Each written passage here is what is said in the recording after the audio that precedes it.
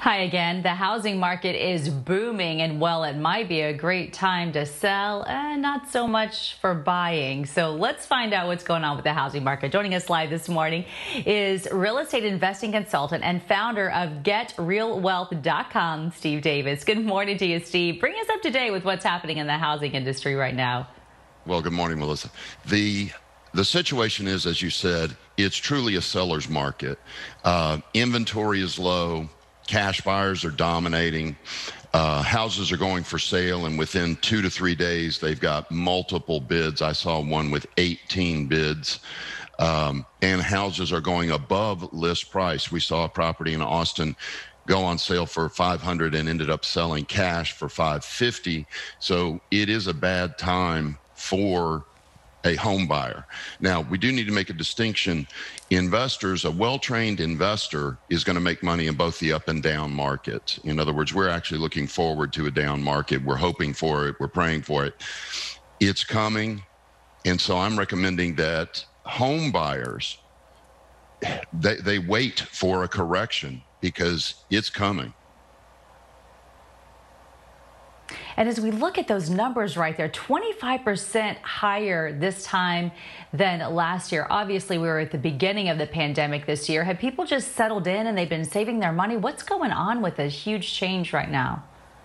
Well, part of it has to do, the frenzy is the inventory is really low.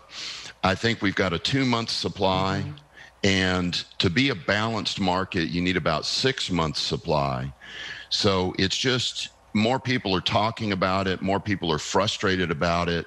So it's coming out more than it would if it was a balanced market, if that makes sense.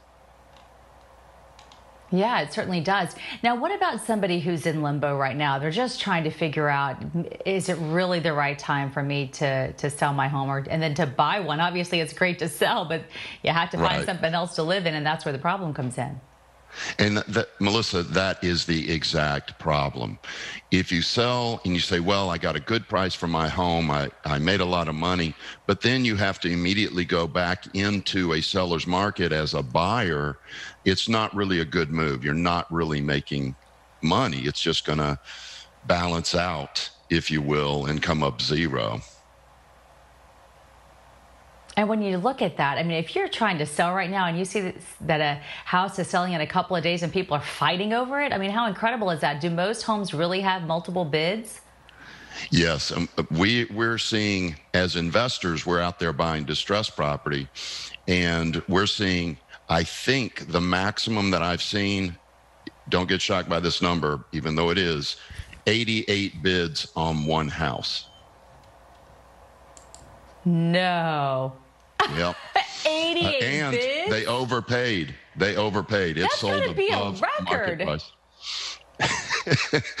You're probably right. I've, I've like. never What's seen anything like this except pre 2008. Right before the crash in 2008, wow. dumb stuff like this was happening.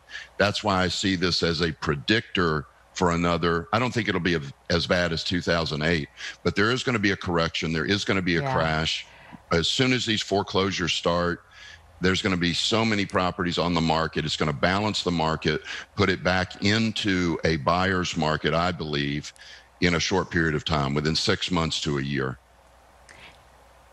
And Steve, we see that cash buyers are dominating, and certainly that would make sense. But are there really that many people who can afford just to throw down some cash on a house? You know where they're coming from? California. These people are selling houses mm. for $7 million, literally, and coming here and for $1 million buying a bigger house with a pool and a spa, and now they have $6 million to invest. So, yes, it, it's a lot of out of, out of state buyers are. Yeah, they're mm. willing to pay cash because they got such an incredible price on their home right. in California, New York, and so on. Very intriguing. Well, Steve, it's great to talk to you. Thanks so much for all the info. Have a great weekend. You too. Take care.